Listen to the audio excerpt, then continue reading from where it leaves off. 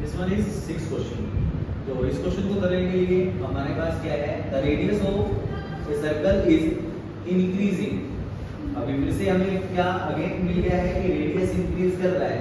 तो radius increase कर रहा है किसके रिस्पेक्ट में कर रहा है भैया? सेकंड के रिस्पेक्ट में। यहाँ पे क्या नज़र आ रहा है? टाइम नज़र आ रहा है। तो इसका मतलब हमारे पास जो दे रखा है, वो क्या दे रखा है? गिवन में। अपने पास गिवन में क्या है? डी आर बाय में डी टी की वैल्यू गिवन है। डी बाय में डी की वैल्यू कितनी है ज़ीरो पॉइंट सेवन सेंटीमीटर पर सेकेंड उसके बाद क्या है? What is the rate of increasing the circumference तो आपको सरकमफ्रेंस पता है सरकमफ्रेंस किसका निकालना है? सर्कल का निकालना है। देखो सर्कल यहाँ पे नज़र आ रहा है। सरकमफ्रेंस सर्कल का निकालना है। सर्कल का सरकमफ्रेंस क्या होता है? Circumference of a of a circle क्या होता है बेटा? 2 पाई आर। सी से इसको प्रिंट आउट किया है टू पाई आर को और सरकमफ्रेंस को हमें चेंज करना है।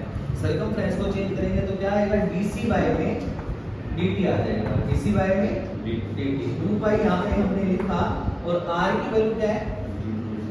r की वैल्यू dr बाय में dt लिखना पड़ेगा हमें क्योंकि विद रिस्पेक्ट टू t हम चेंज कर रहे हैं। तो dr बाय में dt हमने लिख लिया। 2 पाई लिखा और dr बाय में dt की वैल्यू कितनी है बच्चे? 0.7 0.7 मल्टीप्लाई करोगे तो मल्टीप्लाई कितनी आ जाएगी बच्चे? 1.4 पाई आपका आंसर आ जाएगा। 1.4 पाई और ऐसे में आप इसको लिख सकते हो, क्योंकि सरकमफ्रेंस है तो सेंटीमीटर में ही आएगा बाय में सेकंड आ जाएगा। This is this answer okay